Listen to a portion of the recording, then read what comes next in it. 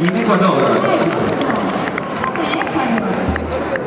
Ed è bello vedere tutti questi colori sgarreggianti. Sono i colori della bandiera dell'Ecuador. Ah.